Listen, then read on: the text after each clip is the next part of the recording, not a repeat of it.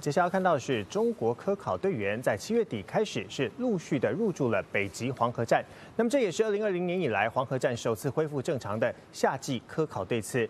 我们凤凰卫视发起的北极行动也派出了采访组走访黄河站，还有其所在的小镇新奥勒松，来看记者郑君之发回的报道。逼近北纬七十九度的新奥勒松位于挪威斯瓦尔巴群岛上，是北极地区拥有科考站最多的小镇。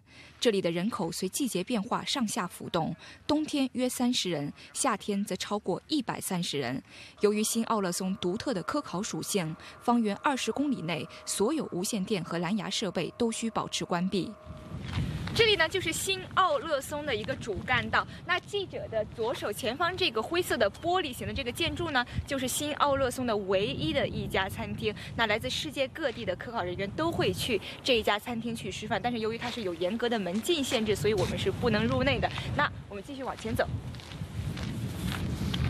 everybodygotherherethree times a day, even on weekends, and there we have the chance to talk with each other.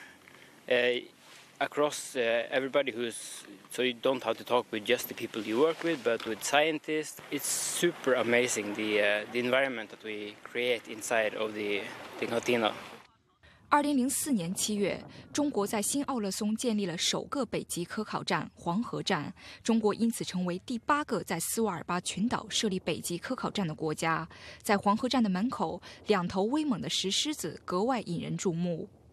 王家的石狮子呢，是我们著名的中国南北极科考队员夏立明先生呢，从中国河北购买带到了这里来的。这里面有一些高精密的设备，所以说这些高精密的设备在研究高空物理的时候，都必须是无线电静默。所以今天您来到这里也是无线电静默的。据了解，今年将有四十一名科考队员陆续入驻黄河站。